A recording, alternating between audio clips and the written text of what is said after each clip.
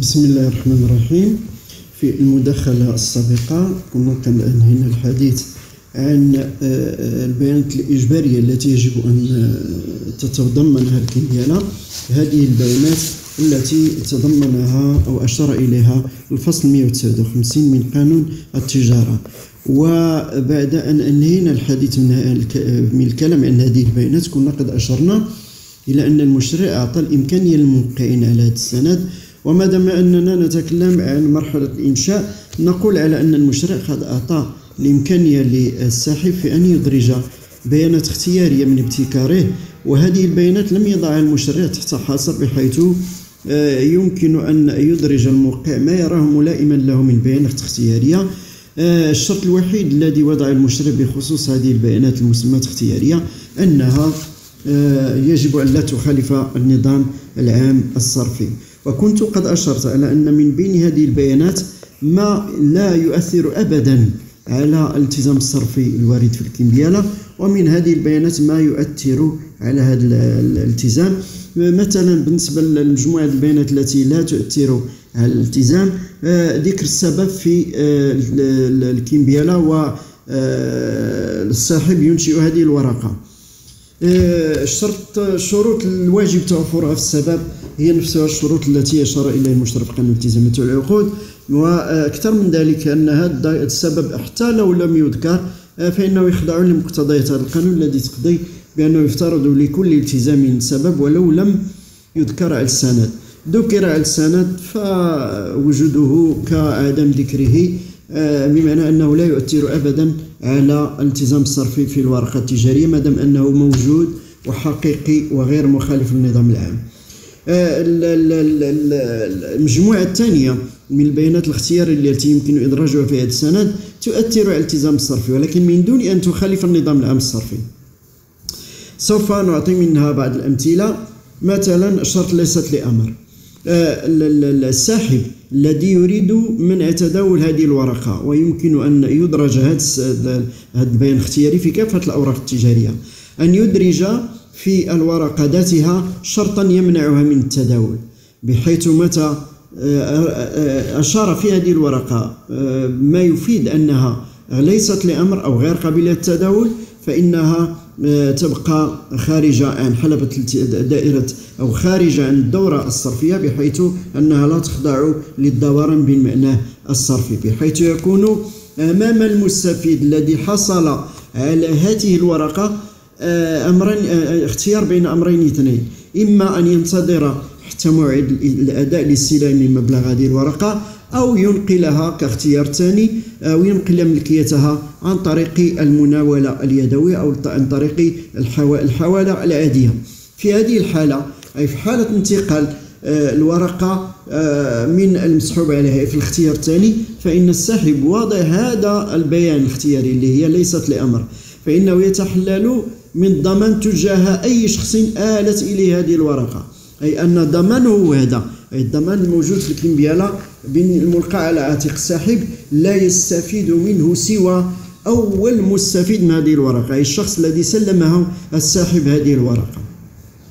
بمعنى آخر أنه آه، متى سلم هذا المستفيد من السهم هذه الورقة لشخص آخر فإن هذا الشخص الآخر لا يعتبر دائما بالضمان للساحب. لماذا؟ لأن الساحب وهو يدرج هذا الشرط. كانت رغبته منه هو تحديد ضمانه في المستفيد الأول.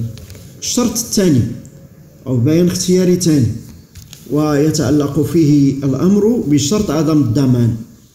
هنا ونحن أمام هذا الشرط ونحن أمام البيانات الاختيارية التي يمكن إدراجها في الورقة الأولى اللي هي الكيمبيال يجب أن لا ننسى بأن الكيمبيالة تتضمن تصرفين اثنين أو ضمانين اثنين ضمان القبول وضمان الوفاء. ومبدئيا أن كل موقع الورقة التجارية بأي صفة سواء ساحب أو مظهر المهم أنه يكون عنده الصفة ديال ملتزم صرفي يعتبر مدينا متضامنا في أداء وفاء مقابل هذه الورقة في حالة رفض أداء من طرف المسحوب عليه. ولكن رغم أن هذا المبدأ هو السائد في, في, في, في الكيمبيالا بمعنى أن كل موقع الورقة التجارية ليس ملتزم بالأداء فقط بل هو متضامن مع باقي الموقعين بصفة ملتزم صرفي في أداء هذه الورقة لحاملها في حالة رفض المسحوب عليه أداء بلاغها لكن المشرع خرج عن هذا هذا الأصل وأعطى الإمكانية في الكيمبيالا للموقعين عليها في التحلل من الضمان. ولكن هذه الإمكانية حتى تنتج أثرها يجب أن نحترم فيها شرطين أساسيين. الشرط الأول بديهي. أشنو هو هذا الشرط؟ هو أنه هذا البيان اللي تنسعى من خلاله أنني نتحلل من الضمان خصو يتجسد على الورقة. لماذا؟ لأنه خصو يحترم مبدأي الشكلية والكفاية الذاتية التي اللتان تحكمان الورقة التجارية. أي أن واضع الشرط يجب أن أن يريد هذا الشرط في السند ذاته. المجسد للورقة التجارية اللي هي الآن تنتكلم لها على الكيمبيال الشرط الثاني أن هذا النوع من البيانات الاختيارية يضيق نطاقه أو يتسع حسب ما إذا كان وضعه الساحب أو كان وضعه أحد المظهرين فإذا وضعه الساحب فإن هذا الساحب لا يمكن له أن يتحلل إلا من ضمان القبول. أما التحلل من ضمان الوفاء فممنوع. كل شرط يضعه الساحب على الورقة. ويرغب من خلاله التحلل من ضمان الأداء يعتبر كأن لم يكن. المادة 165 اش تقول في هذا الإطار وهي تتكلم مع الساحب. 165 قانون الصرف. الساحب في الكيمبيالا ضامن للقبول والوفاء ويجوز له أن يعفي نفسه من ضمان القبول. ويعد لاغيا كل شرط يقضي بإعفائه من ضمان الوفاء. أما إذا تعلق الأمر بالمظهر أي إذا كان المظهر هو الذي سيضع لنا هذا الشرط فالمشرع أعطاه إمكانية الاختيار بأن يعفي نفسه من ضمان القبول أو من ضمان الوفاء أو منهما معا. في هذا الإطار تشير المادة 169 من قانون التجارة أو من قانون الصرف إلى هذا المقتضى بقولها. يضمن المظهر القبول والوفاء ما لم يرد شرط بخلاف ذلك.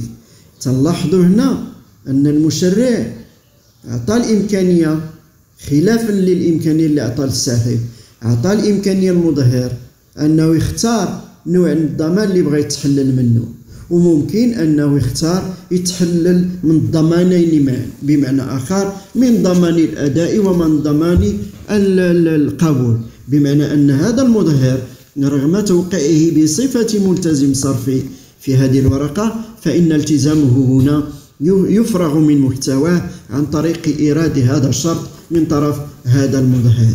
هذا المثال عن ثاني البيانات الاختيارية التي يمكن وضعها من طرف الموقعين على الورقة.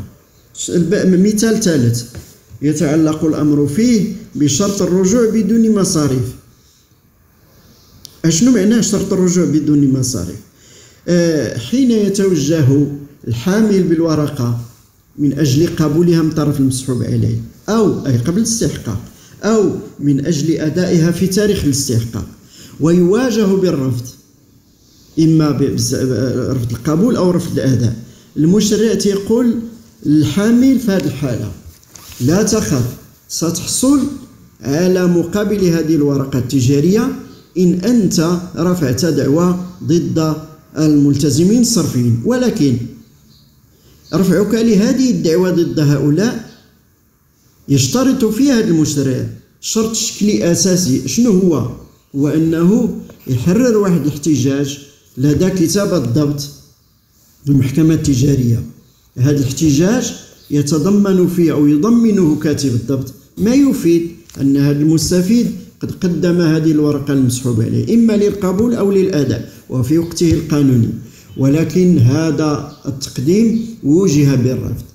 بهذه الورقة المسماة احتجاج وهي تتضمن بطبيعة الحال لابد أن يؤدي فيها هذا الحامل الذي توجه الكتابة ضمن أجل الحصول عليها أن يؤدي مصاريف.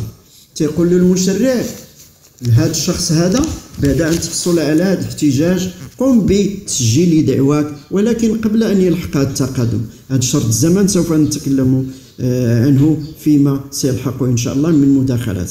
المهم أنه بالنسبة لهذا الشرط هو شرط الرجوع بدون مصاريف أو شرط الرجوع بدون احتجاج. سمي بدون مصاريف لأنه يتطلب مصاريف حين تحريرها أمام كتاب الضبط. آه، هاد هاد المصاريف هادو قال المشرع الموقعين على الورقة التجارية راه ممكن أنكم تدرجوا هذا البيان الاختياري. من خلاله تتوجهوا الكلام الحامل اللي توجه برفض القبول أو لا توجه برفض الأداء وتقولوا له بلا ما تمشي تحمل ديك المصاريف بلا ما تمشي تحرر ذاك الاحتجاج. ممكن أنه في هذه الحالة ملي كاين هذا الشرط الرجوع بدون في هذه الورقة راه ممكن لك أنك ترفع دعواك بدون أن تلجأ إلى هذا هذا الإجراء الشكلي اللي هو الرجوع بدون آه، أو اللي هو آه، الاحتجاج.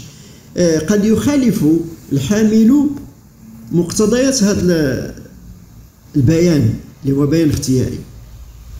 تسلم ورقة وفيها شرط الرجوع بدون مصاريف توجه في مرحلة القبول المسحوب عليه أو في مرحلة الأداء عند هذا الشخص اللي هو المسحوب عليه. وجه بالرفض. قام هذا الحامل بتحرير الاحتجاج فرفع دعوى ضد الملتزمين الصرفيين.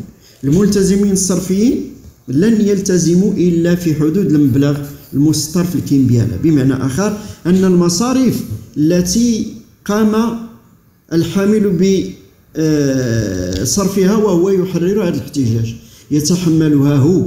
لأنه في الحقيقة هذا مضمون هذا البيان هو إعفاء من هذه المصاريف. وما دام أنه قام بها خلافا لما ورد في هذا البيان فإنه يتحمل وحده هذه المصاريف مزيان. آه كاين بيان آخر من البيانات التي يمكن إدراجها في هذا السند وهي بيانات ذات طابع اختياري. فالساحب قد يختار أن يدرج في آه الكيمبيالا إضافة إلى مكان الوفاء. محل مختار قد يكون قريبا من مكان تواجد الحامل حتى يشجعه على آه، قبول هذه الورقة. لأنه بعد محل الأداء قد يعرقل تداوله وقد يدفع الحامل أو المستفيد المعين فيها بعدم قبول تسلمها.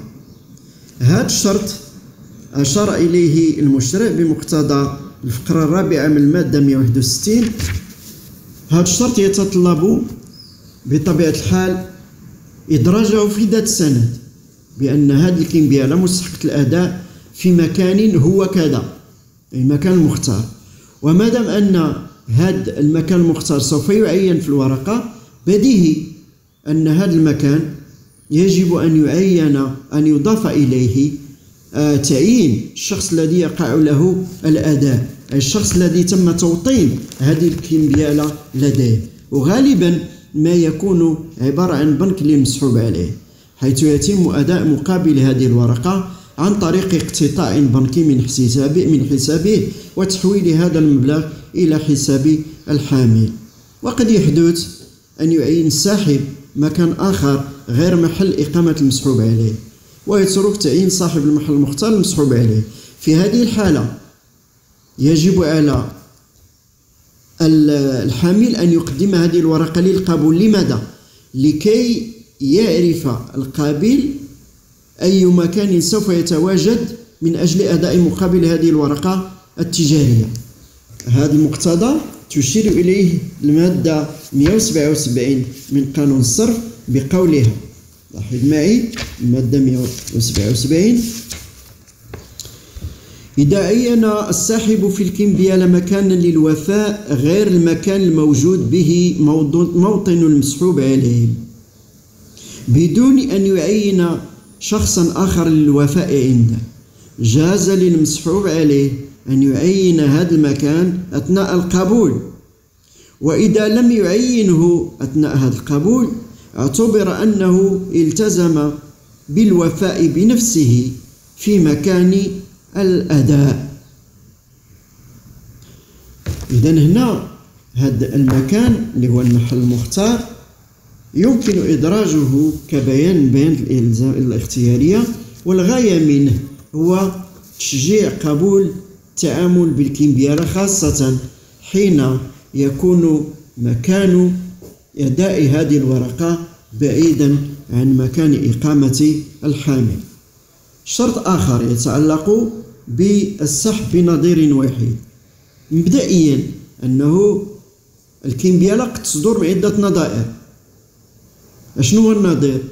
هو كمبيالة ولكن هذه الكمبيالة بهذه النظائر تمثل كمبيالة واحدة. تنديرو نظير واحد نظير جوج نظير ثلاثة إلى آخره. ماشي فوتوكوبي لا. ماشي آه, آه، صورة للكمبيالة لا. هي كمبيالة في حد ذاتها ولكن عبارة عن نظير. أشنو هي الأهمية؟ ديال تعدد النظائر. الأهمية ديال هاد التعدد ديال هاد النظائر عندها فوائد عملية كثيرة بحيث قد يريد الحامل إرسال هذه الورقة المسحوب عليه من أجل قبولها ويخاف أن تضيع فيلجأ إلى سحب نظائر منها أو عندما يرسلها لأجل القبول يكون لديه نظير يمكنه من تظهيره. فلا ينتظر حتى ترجع الكمبيالة من المسحوب عليه هنا ونحن أمام هذه الفائدة. الخاصة بالنظير وأمام المبدأ القاضي بأنه الحالات للمبدأ وأنه يمكن سحب الكمبيالة من عدة نظائر. ولكن متى أدرج الساحب شرطا يمنع فيه من تعدد النظائر؟ فإن هذه الكمبيالة تسحب بورقة واحدة بنظير واحد أو بكمبيالة واحدة ما تكونوش فيها النظائر. كيف يتم إنشاء النظير؟ وما هي آثار هذا النظير من الكيمياء حتى يعتبر النظير صحيحا. نحن نتكلم عن الإنشاء بالنسبة لهذا النظير. لا بد من احترام شرطين أساسيين. أشارت إليهما المادة 222 من قانون الصرف. اش تقضي هذه المادة المادة 222 اللي تتكلم على إنشاء النظير. أه تتقول هذه المادة. يجوز سحب الكمبيالة من عدة نظائر متطابقة ويجب أن يوضع في متن كل نظير رقمه.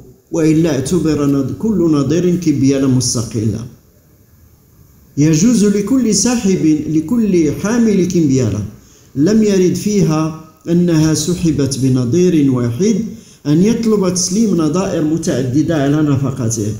ويتعين عليه لأجل ذلك أن يوجه طلبه لمن ظهر له الكمبيالة ويلتزم هذا بمساعدته لمطالبة من ظهر له بدوره. وهكذا تصاعدا حتى الوصول إلى الساحب ويتعين على المظهرين أن يكرروا تحرير التظهيرات على النظائر الجديدة. إذا هنا هذا النص يبين لنا أشنو هي الشروط التي يجب توفرها في هذا النظير في مرحلة الإنشاء. الشرط الأول وأن يكون هذا النظير مماثلا للكمبيال الأصلية بمعنى أنه ما ورد في الكمبيال الأصلية يريد يجب أن يرد في النظير. من بيانات وتحفظات وكذا وكذا وكذا وكذا. البيان الشرط الثاني هو أن كل نظير ديال الكمبيالة خصو يترقم. هذا نظير واحد هذا نظير جوج هذا نظير ثلاثة. متى لم يرقم هذا النظير فإنه يعتبر بمثابة كمبيالة مستقلة. وهنا يجب أن نشير كما أشارت إلى ذلك مقتضيات المادة 222 أن النظير يتم إنشاؤه من طرف الساحب إما في الوقت اللي غادي يسحب الكمبيالة الأصلية تيسحب منها نظائر. نظير واحد نظير جوج نظير ثلاثة إلى آخره. أو لا قد تتداول هذه الكمبيالة التي قام هذا الساحب بإنشائها وقام بتسليمها إلى المستفيد قد آه، آه، آه، تؤول هذه الورقة إلى شخص ثالث أو رابع ويكون هذا الشخص في حاجة ماسة لنظير أو عدة نظائر من هذه الكمبيال. يوجه هذا الحامل طلبا إلى الشخص الذي ظهر له هذه الورقة يعبر فيه على أنه يرغب في إنشاء الورقة الذي ظهر له من عدة نظائر.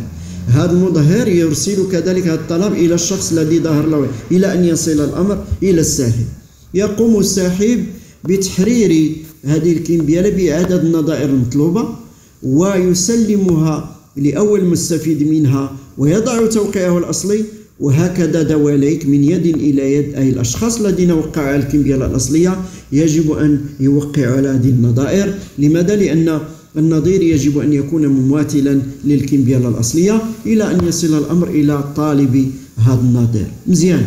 نشأ لنا النظير بشكل صحيح. أشنو هي الآثار اللي تتنتج عليه؟ يجوز من حيث الآثار ديال النظير وضع التوقيع بالقبول على النظير الكيمبيالا لأنه كيمبيالا ذاتها. كما أن الوفاء بهذا النظير يكون صحيحا ومبرئا للذمة ويلغي آثار النظائر الأخرى. ولكن أثر هذه النظائر يبقى ساريا المفعول في حالتين.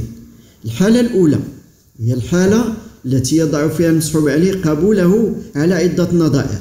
هنا يجب عليه في حالة وفائه لأحدها أن يطلب تسليمه النظائر الأخرى التي وقع عليها القبول ومتى أهمل هذا الطلب وأدى مقابل نظير مقابل نظير من دون أن يتسلم النظائر الأخرى فإنه يكون ملزما بأداء مقابل كل نظير قدم إليه حسب ما تقضي بذلك الفقرة الأولى من المادة 223 هذه الفقرة ديال المادة 223 تتقول إن الوفاء بأحد النظائر يبرئ الذمة ولو لم يشترط أن هذا الوفاء يبطل أثر النظائر الأخرى. لكن لكن مسحوب عليه يبقى ملزما بسبب كل نظير مقبول لم يسترجع إذا في هذه الحالة إذا وضع هذا المسحوب عليه قبوله على كل هذه النظائر عليه أن لا يؤدي مقابل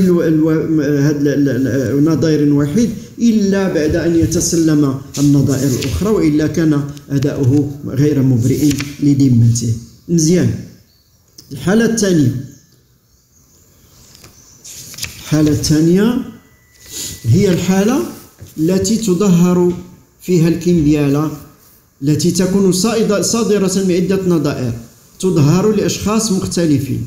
معنى أنه واحد المظهر بعد ما حصل على النظائر كلها ديال الكيمبياله وحدة عوض ما يظهرهم كاملين لنفس الشخص أي استفادة من الكيمبياله بمبلغها الموجود فيه قام باستغلال هذه الكيمبياله بعدة نظائر منها. النظير الأول ظهره لفلان النظير الثاني لعلان النظير الثالث لسرحان.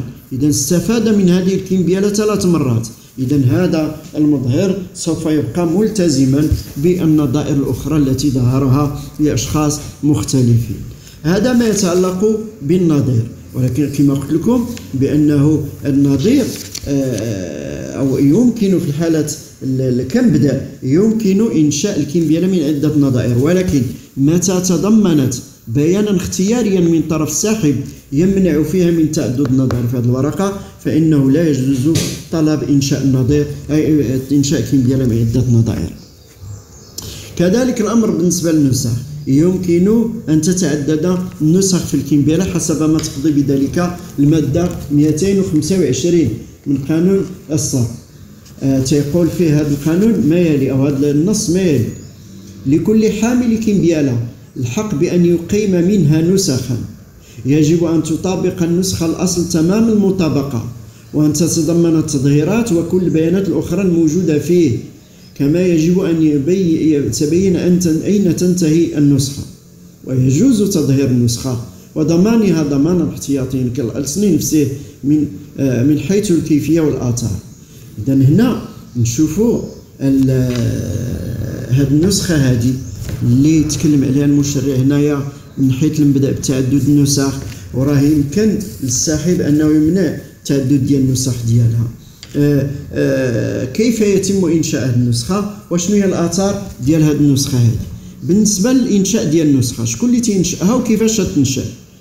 هذه النسخة عكس النظير يتم إنشاؤها من طرف الحامل. علاش؟ لأن النظير لا بد أن يتم إنشاؤه من طرف الساحب يقوم بإنشاء هذه النسخة الحامل اللهم إلا إذا كان الساحب والحامل في نفس الوقت. عندئذ يمكن أن ينشئ هذه الكمبيال عدة نسخ أو من عدة نظائر. علاش؟ لأنه فيه جوج صفات. فيه ساحب عنده الحق يسحب النظير وفيه الحامل عنده الحق يسحب النسخة. ولكن الحامل العادي راه ما يمكنش يسحب إلا النسخة. هذه النسخة عندها عدة فوائد عملية. بحالها بحال النظير. يعني أنه يمكن إرسال آه، الكيمبيالا و لأجل القبول والحفاظ على نظيره أو إرسال عفوا النسخة والحفاظ على الكيمبيالا إلى أن ترجع مخافة الضياع والسرقة. أما عن شكلها فيمكن أن تنسخ باليد عن طريق التصوير. المشتري ما قال لناش أن تكون أصلية. لا. المهم أن تكون أن تشتمل على جميع مشتملات الأصل. هذا هو الشرط اللي قالنا المشتري في إنشاء النسخة. ما قلناش أن تكون التوقيعات ضروري تكون أصلية. المهم أن تتضمن هذه النسخة جميع البيانات الموجودة في الأصل كما أشرنا إلى آه، ذلك من خلال المادة 225 من قانون الصرف كما أشرنا إلى ذلك. تم إنشاء هذه النسخة. ما هي الآثار التي يمكن أن تنتج عنها؟ كما هو الحال بالنسبة للأصل. يمكن إجراء كافة التصرفات عن النسخة. بمعنى آخر أنه يمكن تظهيرها يمكن ضمانها ضمانا احتياطيا إلا الأداء بحيث لا يجب أن يتم بالأصل وليس بالنسخة. الأداء بالنسخة غير مبرئ للذمة. لهذا السبب أوجد أوجب المشرع بيان حائز الأصل في النسخة. لماذا؟ حتى يتمكن الحامل الشرعي لها من طلبه ليتسنى له ممارسة حق ممارسة حقه في الرجوع الملتزمين ولكن استثناء يجوز للحامل الشرعي للنسخة الرجوع بموجبها للأداء دون توفر على الأصل. وذلك في حالة ما إذا أثبت عن طريق احتجاج أن حائز الأصل رفض تسليمه له وهو ما تقضي به الفقرة الثانية من المادة 226 هذه الفقرة التي تقول إذا امتنع من تسليمه أي حائز الأصل آه، امتنع من تسليم الأصل إلى الحامل الشرعي. إذا امتنع من تسليمه لم يجز للحامل أن يطالب الأشخاص الذين ظهروا له النسخة أو ضمنوها ضمانا احتياطيا إلا بعد أن يثبت بالاحتجاج أن الأصل لم يسلم له بناء على طلبه. قلنا على أنه استثناء يجوز للحامل الشرعي حسب ما تقضي به هذه المادة أن يرجع بهذه النسخة ولكن بعد تحريره لاحتجاج. تيبين فيه بأن حائز الأصل لا رفض تسليمه له. كما أنه في حالة إيراد شرط عدم صحة تظهير الأصل فإنه يعمل بهذا الشرط ويعتبر كل تظهير وقع على هذا الأصل باطلا. ولا تكون صحيحة عندئذ إلا التظهيرات الحاصلة عن النسخة. وكما هو الحال بالنسبة للنظير فإن كل شخص ظهر عدة نسخ إلى أشخاص مختلفين. معناه أنه من المفروض أن النسخ من الظهر ظهر كلها ضربة واحدة للمظهر إليه الواحد. ولكن بعض الأحيان قد يلجأ المظهر إلى تظهير هذه النسخ لأشخاص متعددين. في هذه الحالة يكون هذا الشخص آه، ملزما بكل نسخة من هذه النسخ على حدة. إذا هذه أحكام النسخة ولكن تنرجع وتنقول بأنه إذا كان نبدا أنه يمكن نحرر كيمبيالا من عدة نسخ فإنه الاستثناء هو المنع. منين كاين هذا المنع؟ هو الحالة اللي يلجأ فيها الساحب ديال هذه الكيمبيالا إلى إدراج بيان اختياري يمنع فيها من تعدد هذه النسخ. هذه أمثلة. على البيانات الاختيارية التي يمكن إدراجها في الكيمبيالا كما نلاحظ على أنها لا تقع تحت حصر. المهم الشرط الاساسي اللي وضعه المشرع أنها ما تكونش مخ... هاد الشروط ديال البيانات الاختيارية أنها ما تكونش مخالفة للنظام العام الصرفي. آه لازلنا في مرحلة الإنشاء. وين انتهينا من آه الكلام على الشروط الشكليه ما فيها الكتاب الموضوعية والشكلية بما فيها الكتابه والبيانات الاختياريه أو حتى البيانات الإلزامية. ولكن هذه المرحلة قد لا تتم بسلام دائما بحيث قد تعرف في بعض الأحيان بعض العيوب. مثلا قد تتخلف أو يتخلف بيان البيانات الإلزامية الواردة في المادة 159 يهمل وقد يحرف هذا البيان وقد نجد أنفسنا أمام كمبيالة ناقصة. أو قد يتم تزوير هذه الكيمياء إذا عندنا أربعة ديال العيوب بين قوسين يمكن ترافق مرحلة الإنشاء. كاين العيب الأول قد يتعلق بإهمال بيان من البيانات الإلزامية اللي مذكورة في المادة 159 العيب الثاني تسمى يسمى العيب هذا الثاني بالكمبيالة الناقصة أي أن الأشخاص يتفقون أو لا يتم إدراج بين البيانات الإلزامية ويتم الاتفاق على إدراجه فيما بعد. تتسمى الكمبيالة الناقصة. الحالة الرابعة أو الثالثة. أحد من الموقعين على الورقة التجارية يحرف بيان من بياناتها. فنكون أمام تحريف يتم خلق هذه الورقة على شكل فتؤول بتدخل هذا الشخص تؤول إلى شكل ثاني الحالة الرابعة تتعلق بتزوير هذه الورقة. الحالة الأولى. الحالة اللي فيها إهمال أحد البيانات الإلزامية هذه الحالة اللي ذكرها الفصل 160 وكنا شرنا لها فيما سبق. المادة 160 اللي جات مباشرة بعد المادة 159 اللي عددت لنا البيانات الإلزامية أشنو قالت لنا هذه البيانات؟ أشنو قالت لنا عفوا هذه المادة 160 وضعت لنا مبدأ وضعت لنا استثناء. شنو هو المبدأ؟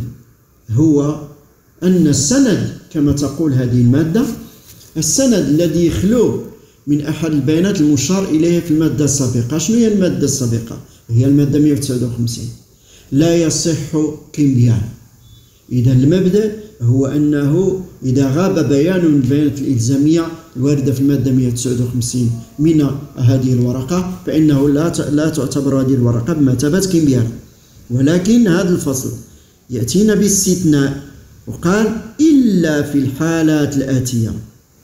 ملي تنرجع هذه الحالات الآتية راه شرنا لها ملي كنا تنتكلموا على البيانات الإلزامية. تنوجدوا فيها أربعة ديال الاستثناءات. جوج الاستثناء تيخصو الزمن وجوج تيخصو المكان. الزمن تيتعلق الأول فيه بتاريخ الأداء والثاني بتاريخ الإنشاء. هادو استثناءين يخصان الزمن. إذا غاب أحدهما أو كلاهما المشتري تيقول الكمبيرة غير باطلة وتيعطينا البديل. والاستثناءين اللي تيخصو المكان كاين مكان الإنشاء. وكاين مكان الأداء. تيقول لنا المشرع في الاستثناءات الواردة في المادة 160 هاد البيانات تعتبر بيانات إجبارية. ومتى غاب مكان تاريخ آه، مكان الإنشاء ومكان الأداء لا تعتبر هذه الورقة باطلة بحيث جاءنا المشرع بالبديل. أشنو هذه الاستثناءات؟ واحد الكمبيالة التي لم يعين تاريخ استحقاقها تعتبر مستحقة الأداء بمجرد الاطلاع. إذا لم يعين مكان الوفاة فإن المكان المبين بجانب اسم المسحوب عليه يعد مكانا للوفاء وفي الوقت نفسه موطنا للمسحوب عليه ما لم يرد في السند خلاف ذلك. إذا لم يعين مكان بجانب اسم المسحوب عليه يعتبر مكانا للوفاء المكان الذي يزاول فيه المسحوب عليه نشاطه أو موطنه. الكمبيال التي لم يعين فيها مكان إنشائها تعتبر منشأة في المكان المذكور إلى جانب اسم الساحب. إذا لم يعين مكان بجانب اسم الساحب فإن الكمبيال تعتبر منشأة بموطنه. إذا لم يعين تاريخ إنشاء الكمبيال. يعتبر تاريخ الإنشاء هو تاريخ تسليم السند إلى المستفيد ما لم يرد في السند خلاف ذلك تعتبر الكمبيالة التي تنقص أحد البيانات الإلزامية غير صحيحة ولكن قد تعتبر سندا عاديا لإثبات الدين متى توفرت شروط هذا السند. إذا هنا المشرع خارج الحالة الأربع ديال الاستثناءات اللي غا إلى غاب فيها مكان الأداء مكان الإنشاء أو تاريخ الإنشاء وتاريخ الاستحقاق. خارج هذه الحالة الأربع إذا غاب بيان آخر من بيانات خارج هذه الاستثناءات فإن هذه الورقة لن تعتبر كمبيانا. ولكن المشرع أخذا بمبدأ إعمال السند غير خير من إهماله. أش قال لنا في الفقرة الأخيرة من المادة 160 قال لنا بأن هذه الكمبيالة اللي تتنقصها بين البيانات الإلزامية خارج الاستثناء. إيه تعتبر غير صحيحة. ولكن إعمال السند خير من إهماله بحيث يمكن أن تعتبر هذه الورقة اللي هي باطلة ككيمبيانا يمكن أن تعتبر سندا عاديا لإثبات الدين إذا توفرت فيه شروط هذا السند. إذا هذه بصفة عامة ما يتعلق بالعيب الأول الذي يمكن أن يرافق مرحلة الإنشاء في هذه الورقة اللي هي تتعلق فيها بإهمال أحد البيانات الإلزامية. كما أشارت إلى ذلك المادة 160 يبقى أن نشير قبل أن نتوقف من من هذه المحاضرة أن نشير إلى ما يسمى بالكمبيالة الناقصة. هذه الكمبيالة الناقصة تشبه الكمبيالة التي أشرنا إليها قبل قليل التي تنقصها غير الفرق ما بين الكمبيالة الناقصة والكمبيالة اللي شرنا لها وشرت لها المادة 160 أنها تكون غياب باين من البيانات الإلزامية خارج الاستثناء اللي وارد في المادة 160 تيكون غيابه بسبب اتفاق الأطراف. تيتفقوا هذه الأطراف على عدم ذكر بعض البيانات الإلزامية عند إنشاء السند. بحيث يرجئون إدراج هذا السند في المستقبل. وهي هذه هي الحالة ديال الكمبيالة الناقصة. ونحن نشير إلى هذا النوع من الكمبيالات لا بد من الإشارة إلى أنه قد كان هناك نقاش بين المعتمرين في جنيف ديك الاتفاقية ديال 1930 حول القانون الموحد المطبق على الكمبيالة والسند الإذني ترى نقاش بين هؤلاء حول صحة مثل هذه الكمبيالة جاءت المادة العاشرة منه لتنص على هذا المقتضى الخاص بهذه الكمبيالة وتعتبر وتعتبر هذه المادة بأن الكمبيالة لأن الناقصة تعتبر صحيحة. متى أكملت على الوجه المتفق عليه. وتبريره في ذلك في الحقيقة هو منطقي على أنه العبرة أو الحكم بصحة هذه الورقة ليس بيوم إنشائها ولكن بيوم تقديمها للوفاء. فهذاك اليوم ديال تقديم الوفاء يجب أن تكون مكونات هذه الكمبيالة كلها موجودة. المشرع المغربي كما هو الحال بالنسبة للمشرع الفرنسي لم يأخذ بأحكام هذه المادة. ورغم ذلك الفقه والقضاء في المغرب وحتى في فرنسا أخذ بها مقتضيات هذه المادة العاشرة من قانون جنيف اللي تتقول بأنه هذه الكمبيالات تعتبر صحيحة إذا أكملت